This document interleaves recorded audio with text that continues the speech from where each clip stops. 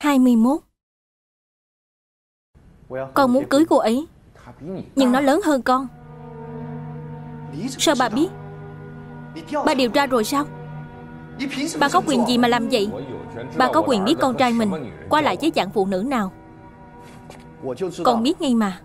Đó luôn là tác phong của ba. Du Tiểu Nhu cũng là tay mắt ba cử đi đúng không? Tình cha của ba vĩ đại thật đó. Nói cho cùng Ba chỉ muốn thỏa mãn ham muốn kiểm soát của mình thôi. Đủ rồi. Thạch Kiên, Ba chỉ muốn tốt cho con thôi. Tiểu Nhu là một cô gái tốt. Lương thiện Có trách nhiệm, Lại còn giỏi giang. Trong sự nghiệp cũng là trợ thủ tốt. Cưới vợ phải cưới thục nữ. Gia đình của chúng ta Cần những trợ thủ sự nghiệp nội bộ như vậy. Chứ không phải những người mưu mô xảo quyệt. Kết hôn với người phụ nữ như thế nào Là việc của con. Ba không có quyền can thiệp. Nếu con cứ cứng đầu như vậy, Thì đừng bước vô cái nhà này nữa. Con nhất định sẽ cưới Juliet. Nếu mẹ con thấy con như bây giờ, Chắc chắn sẽ rất đau lòng. Con trai lớn rồi, Đủ lông, đủ cánh rồi. Nếu mẹ dưới suối vàng biết được, Chắc chắn mẹ sẽ ủng hộ con. Nếu không phải vì năm đó ba mê tiền bỏ mặt mẹ, Làm sao mẹ bị bệnh nặng rồi bỏ chúng ta được? Con nhất định phải cưới cô ta sao? Đúng vậy. Được. Ba nhất định sẽ tổ chức cho con Một đám cưới thật hoành tráng. Nhưng khi hai đứa phải gánh chịu hậu quả, Thì đừng trách ba không nhắc nhở trước.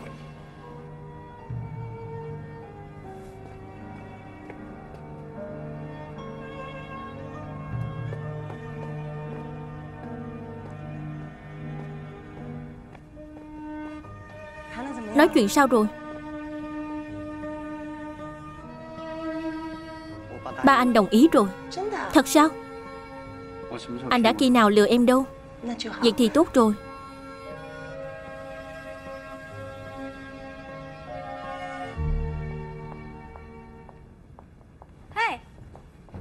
Lại lấy quà nè.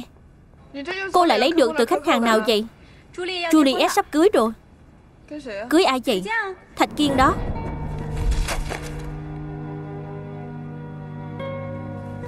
Juliet chuyên cần hôm nay lại không đi làm. Còn nhà công ty tổ chức tiệc cưới, Đem thiệp đến giùm. Mời chúng ta tối nay tới dự tiệc đính hôn. Tôi đã thấy họ có vấn đề lâu rồi. Cô sao vậy? Người tôi ghét nhất cuối cùng cũng kết hôn. Tôi biết cô ghét cô ta, Nhưng cả công ty Hiếm ai không ghét cô ta lắm. Không. Tôi đang nói Thạch Kiên. Anh ta thì đáng ghét thiệt. Luôn đứng về phía khách hàng để giấu quấn cô. Hay chúng ta khỏi đi đi. Nhất định phải đi.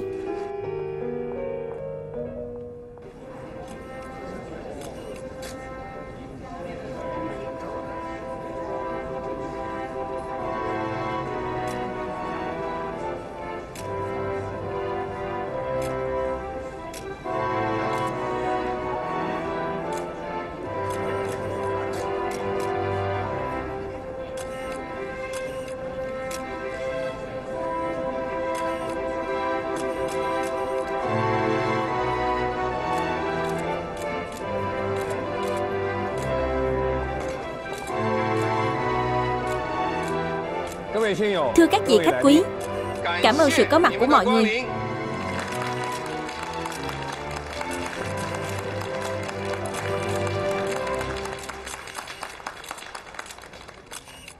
Hôm nay mời mọi người tới đây Là muốn mời mọi người chứng kiến Lễ đính hôn của con trai Thạch Kiên của tôi.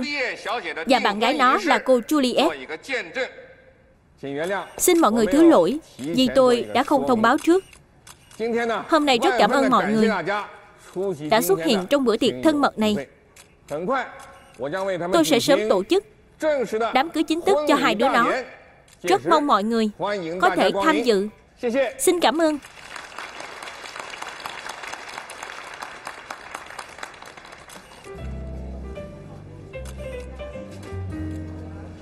Đúng đó, chắc chắn là vậy rồi. Nhưng tôi thấy hình như hôm nay Chú rể hơi căng thẳng. Vậy sao? Đúng đó, đâu phải là không cho. Giả đò giống lắm. Tôi cũng thấy hình như hôm nay Chú rể hơi căng thẳng. Uống rượu đi. Cảm ơn nha.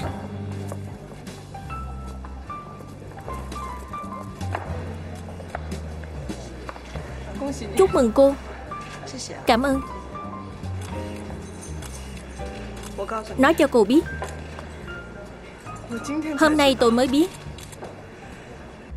Anh ta không phải đồng tính. Tôi chưa kiểm tra mà. Cô ấy xỉn quá rồi. Cô nói dối mà còn không chấp mắt. Đi thôi, đi thôi. Đi thôi, đi thôi.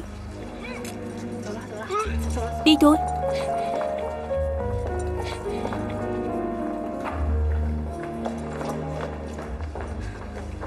Nói lung tung đó, Cô ấy xịn quá. Đúng đó Đúng đó, Chúng ta nói chuyện tiếp đi. Kệ cô ấy đi.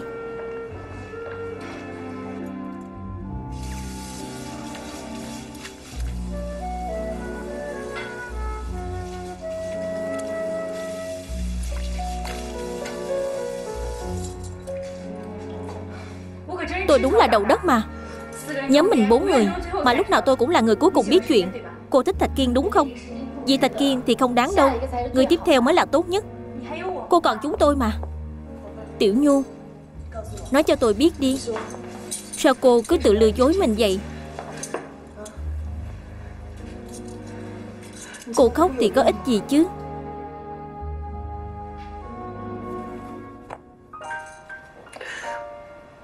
Tôi khóc. Vì tôi được giải phóng rồi. Thạch Kiên kết hôn rồi. Thỏa thuận của tôi với ba anh ta Cũng chấm dứt được rồi.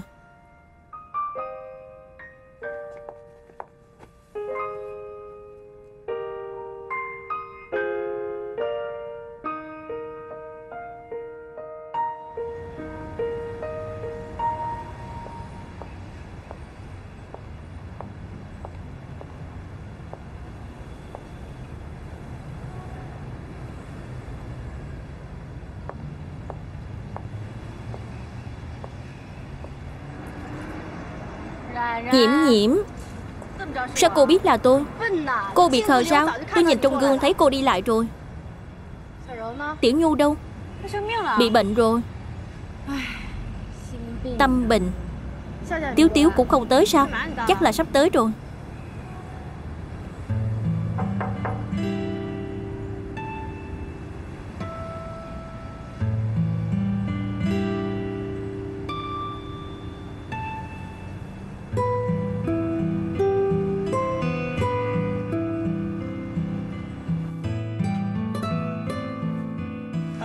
Đẹp không? Đương nhiên là đẹp rồi. Bộ này chỉ là hàng mẫu. Còn váy cưới thật, Phải gửi từ Italy qua. Nhưng mà tiếc quá. Thứ bảy váy mới về tới đây. Chủ nhật là đám cưới rồi mà, Đúng không? Đúng vậy. Nhưng tôi thích cái váy cưới đó lắm. Nhất định phải đợi. Lùi lịch đám cưới là được mà. Kevin không đợi được nữa. Chiếc váy cưới đó được theo thủ công hoàn toàn. Giá cũng cần một triệu tệ. Nghe giàu sang, khí thế quá. Có gì ghê gớm đâu một bộ váy cưới chỉ bằng tiền lương một năm của giám đốc điều hành sáng tạo lãng nhã Cộng thêm nhẫn và trang sức. Thì lương 5 năm là đủ rồi. Tóm lại, giám đốc điều hành sáng tạo Trước khi nghỉ hưu ở lãng nhã, Chỉ cần không ăn không uống Thì sẽ đủ chi trả cho cái đám cưới này. Tôi luôn thích những người đàn ông Lớn tuổi và chín chắn hơn tôi. Không ngờ sở thích của Thạch Kiên cũng giống tôi. Có gu lắm.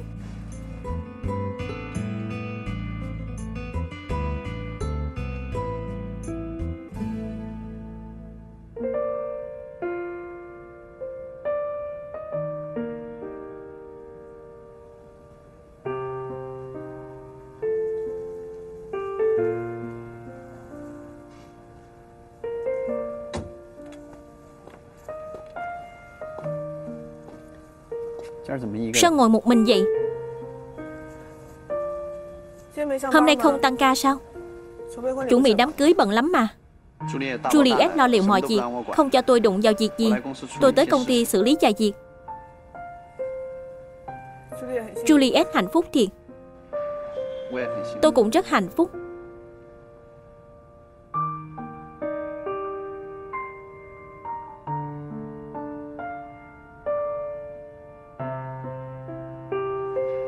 Muốn ngồi cùng không? Được thôi.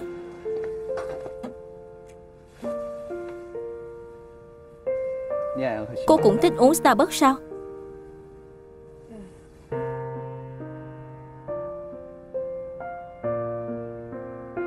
Hình như chúng ta Không có chuyện gì để nói.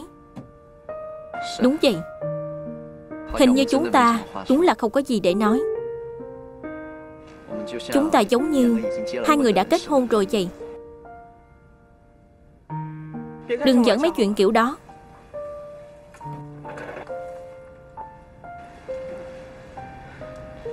Tôi đi trước đây. Tân hôn vui vẻ.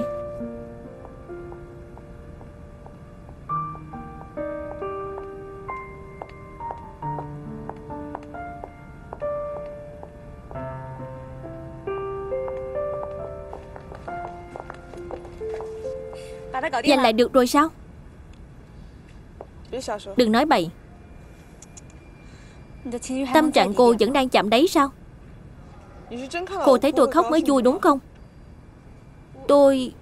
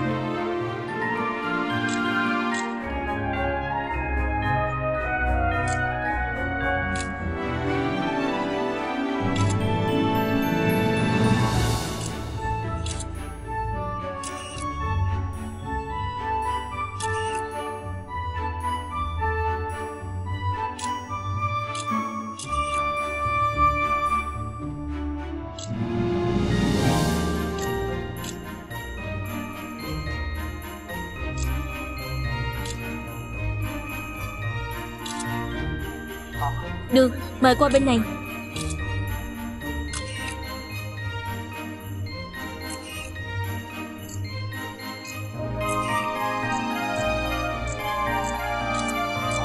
Cảm ơn, mời lên lầu.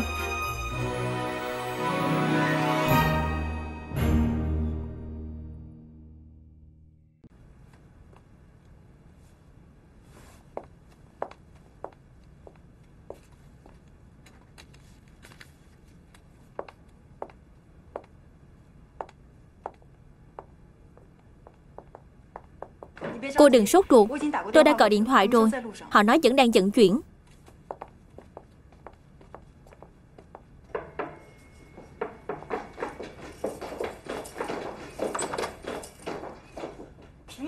Sao giờ các cô mới tới? Thật sự xin lỗi. Đừng nói gì làm tôi thất vọng đó. Tối hôm qua lúc nhập kho Thì bị chập điện, Nên xảy ra chút sự cố.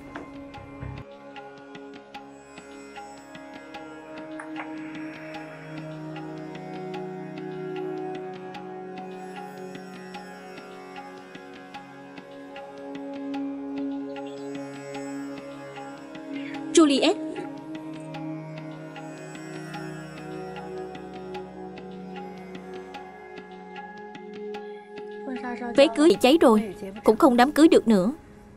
Ý trời rồi. Hình như chị hơi vui thì phải. Chứ em không vui sao? Em cũng rất vui.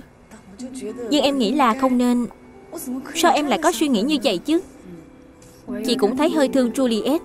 À không, Là nên thương Juliet.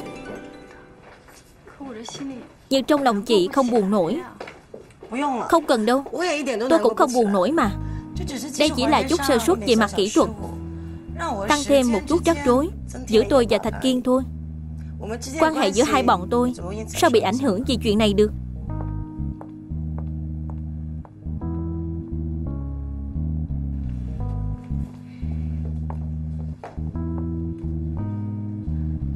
Đừng hỏi tôi tại sao.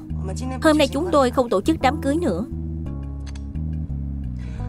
Đền bù tổn thất đi. Dạ xin lỗi chị, Chúng tôi sẽ hoàn trả đầy đủ. Ngoài ra, căn cứ theo hợp đồng, Chúng tôi sẽ bồi thường thiệt hại cho chị 200.000 tệ. Đây là chi phí 1 triệu 200.000 tệ, Mong chị nhận cho. Giờ quan trọng nhất là mua một bộ váy cưới mới. Không thể chậm trễ đám cưới được.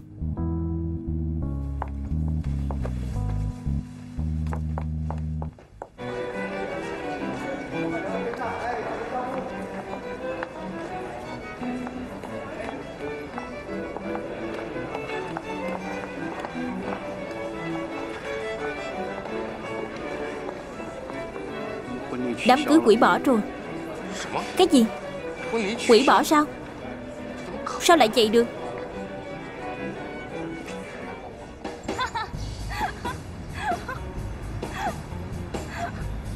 Được rồi đó. Coi chừng mắt nghẹn Cô thấy người ta gặp xui xẻo, Cũng đừng cười vui sướng như vậy chứ. Tuy đó là Juliet, Nhưng tốt xấu gì cũng nên tém bớt lại. Chị ta đủ xui xẻo rồi. Không phải cô ta xui xẻo, Mà là tôi trút xui xẻo lên người cô ta. Tôi đưa tiệm váy cưới 2 triệu tệ Và kêu họ bán váy cưới cho tôi. Váy cưới 1 triệu mà bán được 2 triệu, Cộng thêm 200 ngàn bồi thường cho Juliet. Tính ra họ cũng lời được 800 ngàn rồi. Tôi thấy cái váy cháy loang lỗ mà. Bởi vậy, Đâu ai nhận ra đó là cái váy nào đâu. Nghe cho rõ đây. Hàng thật đang ở chỗ tôi. Cô dùng hết tiền thừa kế để mua sao? Chứ không sao mua được cái váy đó. Nhiễm nhiễm. Cô là người xấu dễ thương nhất Kẻ keo kiệt ngông cuồng nhất Mà tôi từng gặp đó. Cô xài hết tiền thật sao? Tôi chỉ giữ lại 100 tệ Làm kỹ vật từ tài sản thừa kế thôi. Tôi nghèo lắm rồi Tiếu Tiếu. Sau này đi ăn cô bao hết nha. Còn nữa Không được nói cho Du Tiểu Nhu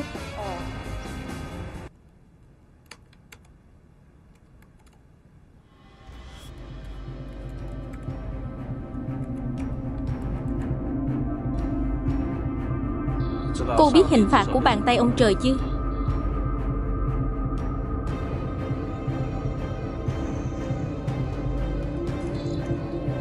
Anh là ai?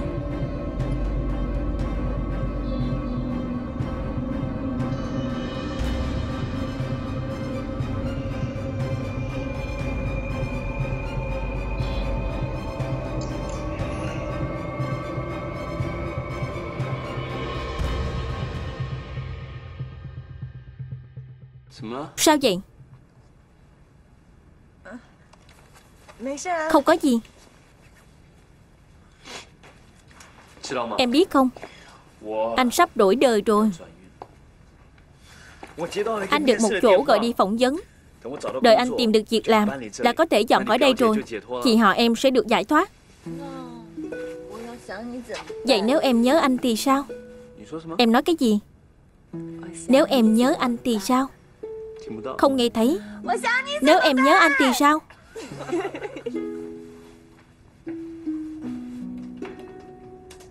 Tôi biết mục đích cô tới tìm tôi. Có gì cứ nói thẳng đi. Frank kêu cô gia nhập một câu lạc bộ. Nếu cô nghĩ ra cách để gia nhập, Bàn tay ông trời sẽ cho Trác Nguyên, Từ nay được tự do ở bên cô, Nói lời giữ lời. Cô có thể đánh cược mà. Tôi không có sự lựa chọn nào khác mà, Đúng không? Vậy cô có thể mặc kệ Trác Nguyên. Nhảm nhí. Bình tĩnh đi.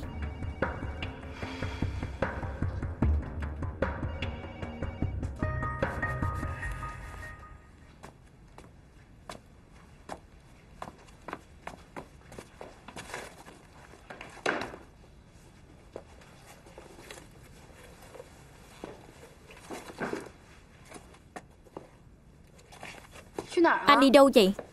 Cô nói coi trùng hợp không? Ở ngay gần tạp chí Mỹ Lệ luôn. Tốt nhất là anh trượt phỏng vấn. Đỡ mất công sau này Tôi tới chỗ tạp chí có việc Mà còn phải lo đụng mặt sao chỗ như anh. Tôi mà trượt Thì cô cũng khổ thôi Tôi sẽ ở lại đây không đi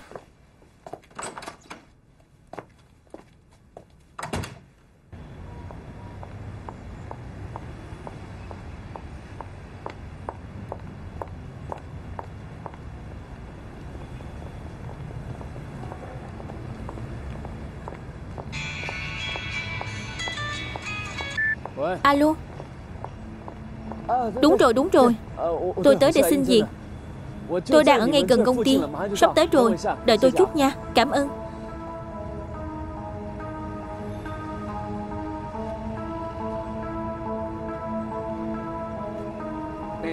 Em đang ở đâu chị? Em đi dạo phố với nhiễm nhiễm. Em đang dạo phố với nhiễm nhiễm sao? À, không sao không sao. Tạm biệt.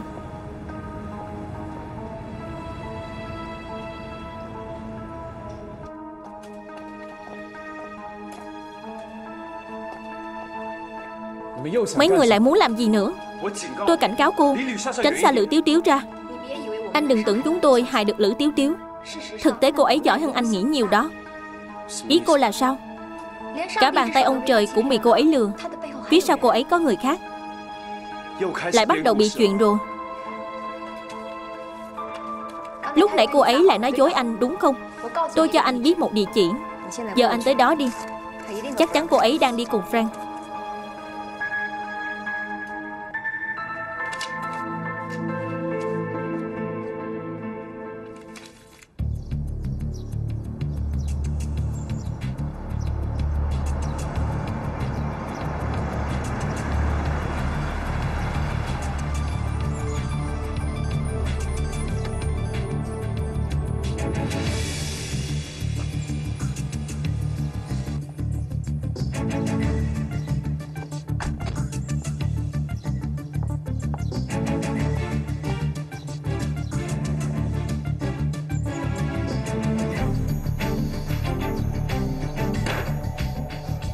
Cô nói rõ cho tôi Có phải cô gài bẫy để cô ấy gặp Frank không?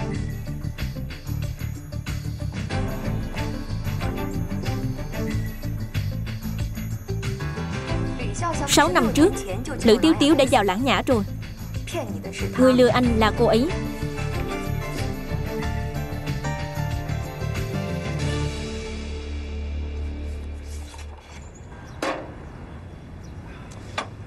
Anh còn nhớ danh sách nhân viên Lần trước anh tìm thấy không? Sao vậy? Anh có từng hỏi người trong lãng nhã 6 năm trước Lữ Tiếu Tiếu thật sự có tham gia trại hè Và có tới lãng nhã rồi không? Đương nhiên rồi, Nói thẳng ra như vậy, Một người sống sờ sờ Thì ai mà chẳng biết. Vậy thì sao? Không có gì. Không có mới lạ. Tôi cũng lười hỏi luôn đó. Chắc chắn lại là mấy chuyện giặt trong tình yêu của hai người rồi. Tôi nói nè, Chừng nào anh mới giúp tôi xử được Mã Gia Lệ vậy? Thân tôi còn không lo nổi, Sao giúp được anh?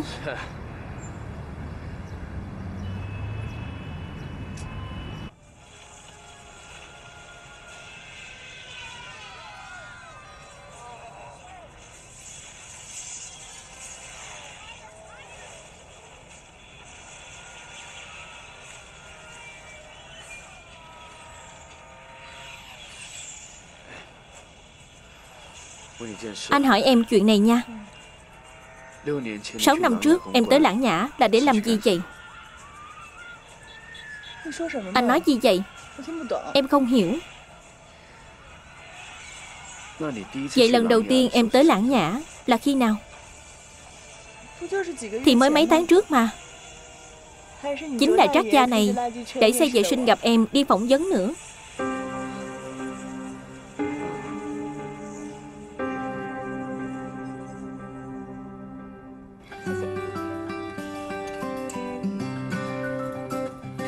Đồn đống salad cao nhất.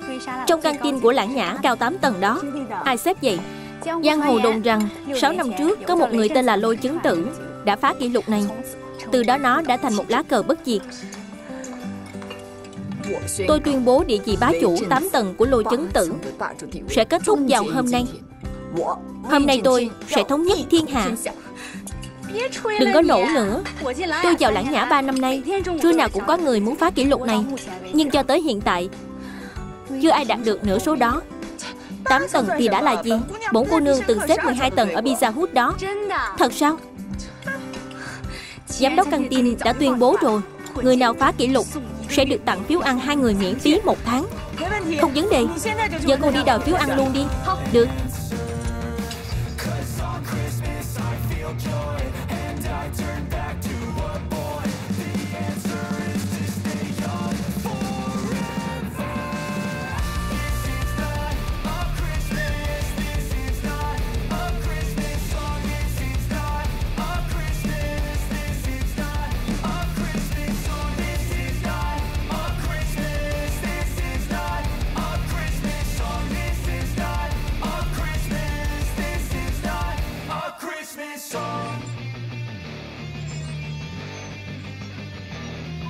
Giám đốc nhìn đi. Tôi không lừa ông đúng không? Lại là cô sao? Cái gì mà lại là tôi? Đúng là gỡ chuông Phải nhờ người buộc chuông. Kỷ lục 8 tầng 6 năm trước Chẳng phải do cô lập ra sao? Không phải lôi chấn tử sao? Hơn nữa 6 năm trước tôi chưa vào lãng nhã mà. Lôi chấn tử chính là cô mà. Lúc đó cô mới tốt nghiệp cấp 3 Tới đây tham gia trại hè Chính là ngay chỗ này. Cô đã xếp tháp salad 8 tầng. Lúc đó cô làm chúng tôi ngạc nhiên lắm. Sau khi cô đi, Chúng tôi gọi cô là lôi chứng tử. 6 năm trước, mọi người đều từng gặp tôi sao? Chắc chắn là cô quên rồi. Trong đây còn ghi lại nè.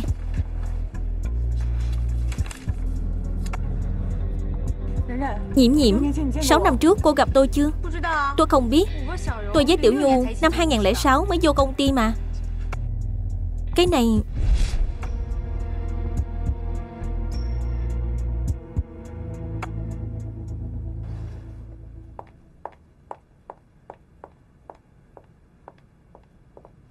Anh từng gặp tôi chưa?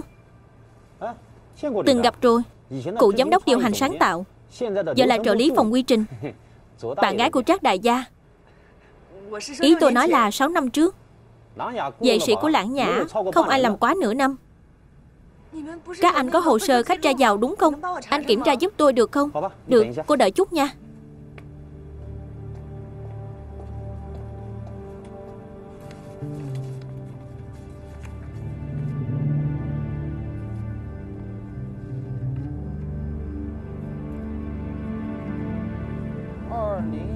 Ngày 17 tháng 8 năm 2004 Lữ Tiếu Tiếu.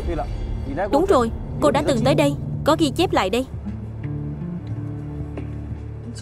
Anh biết cái này Ở đâu ra không? Trình độ của nó cao hơn tôi nhiều. Chắc là bảo vệ tiền nhiệm. Rồi bảo vệ tiền tiền nhiệm để lại đó. Đúng rồi. Cô kiểm tra ghi chép ra vào của mình 6 năm trước làm gì? Tôi tìm búp bê của mình. Cái này của cô sao? Anh nhìn đi. Ngày 17 tháng 8 năm 2004 Hôm đó đâu chỉ có một mình cô tới đây. Sao cô chứng minh được nó là của cô? Chứ không phải là của người khác. Hay cô gọi nó đi? Coi nó có đáp không? Anh nhìn nè.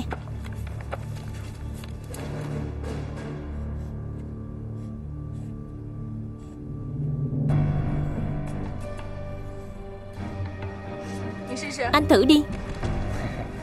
Tôi xin lỗi.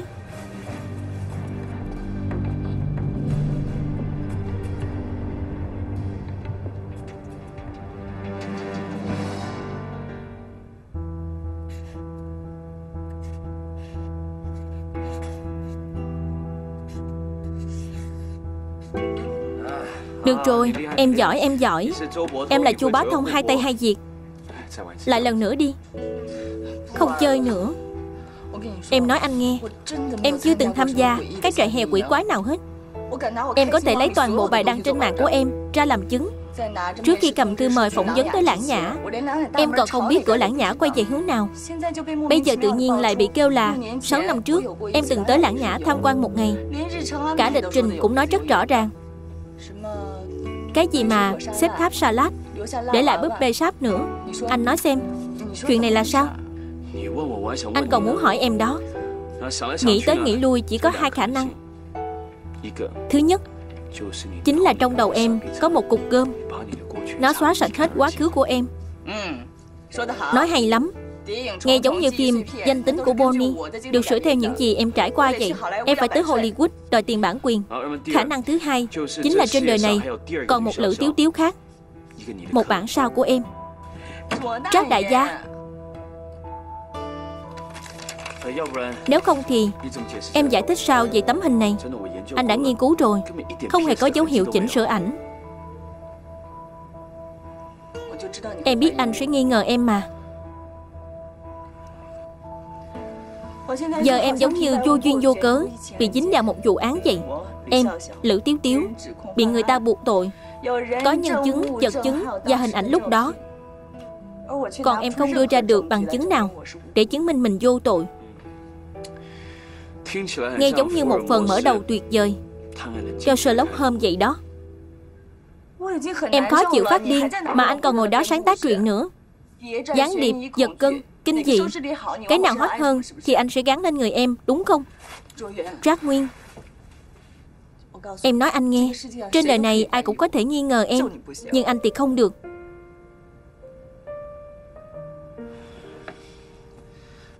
Rồi, lại đây Không phải anh nghi ngờ em. Nhưng chuyện này quá kỳ lạ. Anh phải suy nghĩ cẩn thận. Anh nhìn em đi. Em nghe nói Lời nói dối hoàn hảo đến mấy Cũng không thoát được ánh mắt của người yêu. Bây giờ em nhìn thẳng vào mắt anh và thề Sáu năm trước Em không hề tới lãng nhã. Anh có tin không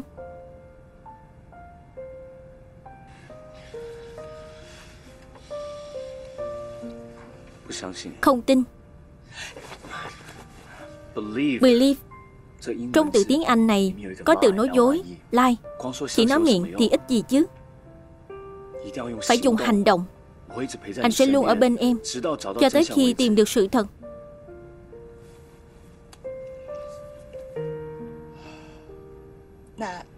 Vậy đợi sau khi tìm được sự thật Em lại dạy anh dễ chuông tròn. Được thôi cứ quyết định vậy nha. Được rồi, vậy. Nếu chuyện này nghe có vẻ kỳ bí như vậy Vậy chúng ta cứ đi theo đường trinh thám. Bước thứ nhất là phải tìm ra chứng cứ chứng minh em ngoại phạm. Em nghĩ kỹ lại coi. Ngày 17 tháng 8 năm 2004 Rốt cuộc em đang làm gì? Anh nhắc nhở em rồi đó. Suýt nữa em quên mất. Lúc lên đại học em có thói quen viết nhật ký.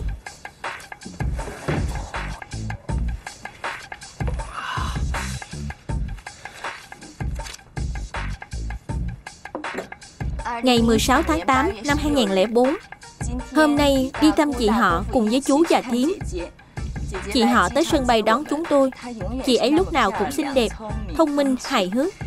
Trước mặt chị ấy, tôi chỉ như con vịt xấu xí, không thể biến thành thiên nga trắng. Em có chắc đây là em giết không?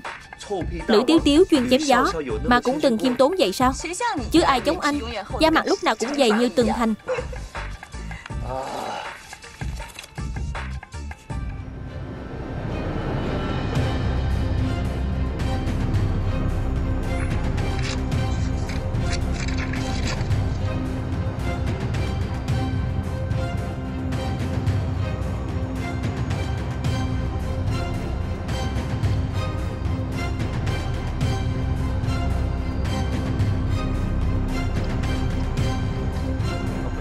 thể của họ bị xé nát. Những đôi mắt nhìn chầm chầm thẳng vào tuôn. Phía sau hết rồi.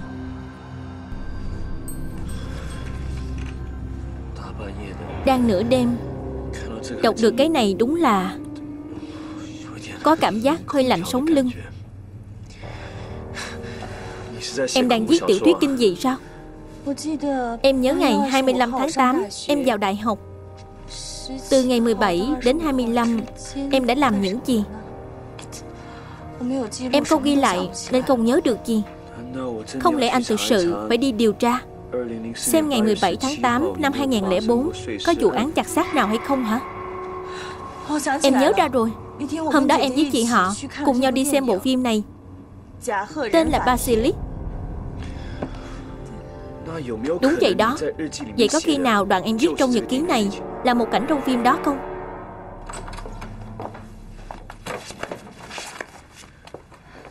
Chị về rồi đây. Ngồi sát nhau thì thầm to nhỏ. Coi nhà chị thành mẫu giáo thiệt sao? Sao hai người không nói gì vậy? Có phải đang nói xấu tôi không? Chị Chị có nhớ là Ngày 17 tháng 8 năm 2004 Chúng ta cùng đi xem phim này, Đúng không? Hình như đúng là vậy. Em hỏi cái này làm gì? Em hỏi vậy thôi. Hồi nãy dọn dẹp đồ, Em thấy hai vé xem phim này.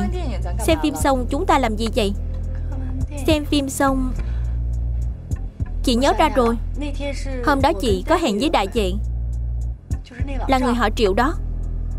Sau đó chị sợ ba mẹ biết Nên lôi em ra làm bình phong. Sau khi vào rạp Thì chúng ta xem phim. Em Chị không nhớ được nữa. Em hỏi kỹ vậy làm gì? Em với Trác Nguyên chơi trò chơi. Nhớ lại một ngày nào đó trong đời Càng chi tiết càng tốt. Nhớ lại hả? Ký ức có ăn được không? Có đem lại hạnh phúc cho em tôi không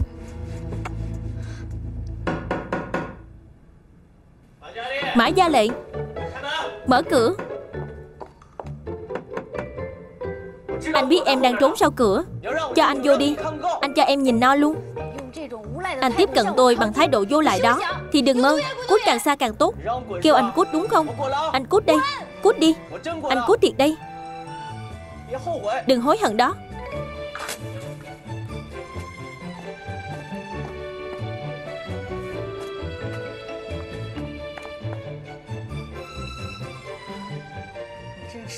Tôi chịu hết nổi anh Với cái tên góc kẻ kia rồi. Sai. Tôi là kho báu Mà em gái cô thích nhất.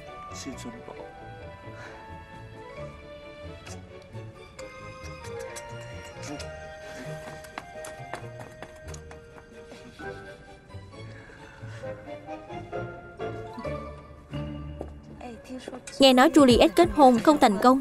Nhưng chị ta vẫn xin nghỉ đám cưới. Cô tốt nhất đừng nói trước mặt Juliet. Chị ta tới rồi.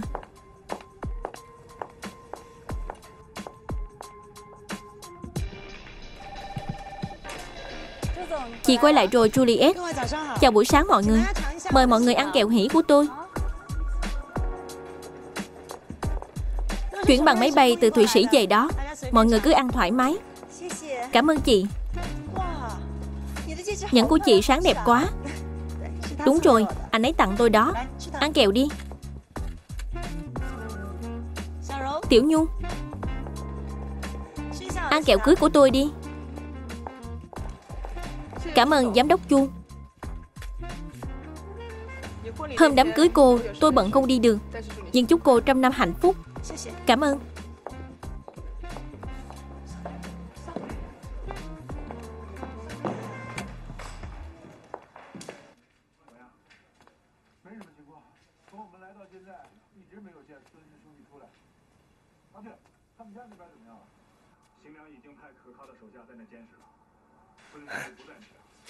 Tránh ra coi.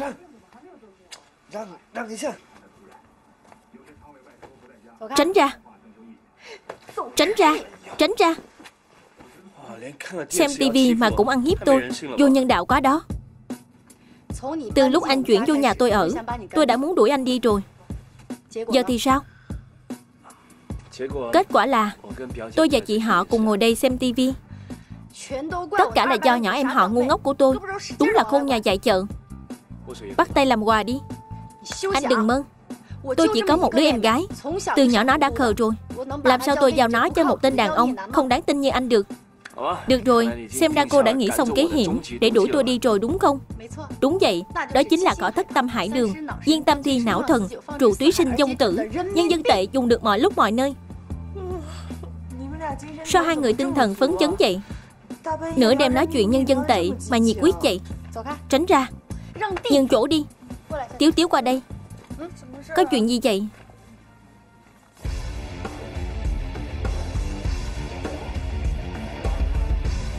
Chị bắt Trác Nguyên đóng tiền nhà 5 ngàn mỗi tháng sao? Em thấy mắc quá đó.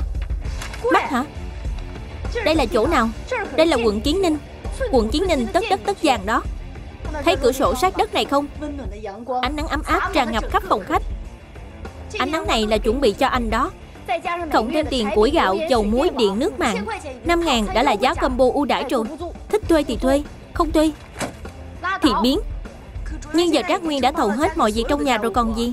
Chị mà thuê giúp việc Bao ăn bao ở một tháng Thì cũng phải mất 2 ngàn đó. Lữ tiếu tiếu Em đừng tưởng chị không thấy. Em trốn trong bếp Đáng giúp anh ta việc nhà còn nữa, giúp việc tốt chứ sao? Người ta bảo vệ môi trường, không phá của. Tên Trác Nguyên này là bơm nổ chậm Sớm muộn cũng nổ bay em. Chị họ Cái kế độc cuối cùng này của chị Tình như hơi trẻ con quá đó. Trừng phạt kinh tế sao? Đó là cách rất nguyên thủy lạc hậu. Đợi tôi giải quyết xong việc công ty. Đi xin việc cũng dễ như uống cà phê, Sớm muộn cũng xong xuôi. Tới lúc đó tôi không chỉ ở trong phòng chị, Mà quyền sử dụng phòng khách trường kỳ, Tôi cũng sẽ gánh được. Chị đừng có nuốt lời Chia rẽ quyên ương nha. Vậy anh có ký không?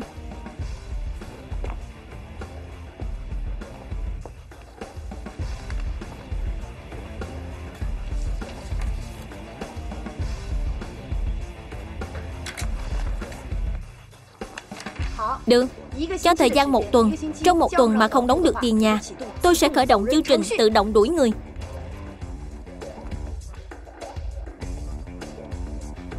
Anh làm được không vậy?